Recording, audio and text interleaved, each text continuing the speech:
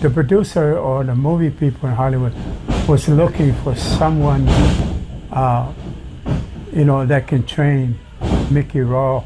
In this case, was uh, Nicolas Cage. yeah Nicolas Cage. Yeah, he was the one that originally started the uh, the movie, and I met him, uh, and then I trained him for two days.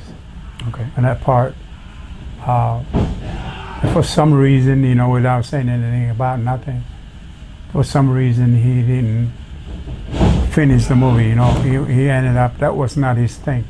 Uh, so these guys, that the producers and the director, they were kind of like try to find somebody that. Uh, but before that, when they were looking for a trainer, every every every people that they talked to, including the WWE, they all pointed at me. So that's how I hook up for, with the movie, The Wrestler.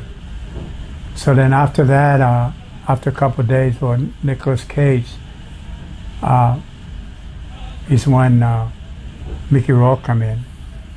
Uh, Mickey Rourke was one of them real. I didn't like him at first. Okay, I didn't care, and he didn't like wrestling because he's a boxing guy.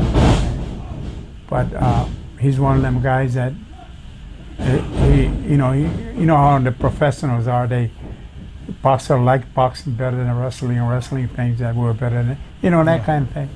So that's the way it was. He didn't like uh, wrestling. And then in two days later, after I trained him, you know, he pulled me on the side and he called me Pop. And he said, Pop, can I talk to you on the side? And I said, sure. So that's when he was telling me he had, so uh, in two days, he went to get x-rays and MRIs on his body. And then he said, I have all, nothing but respect for you. Said, how can you do this for 40 years? And I did it for a couple of days and I can't move.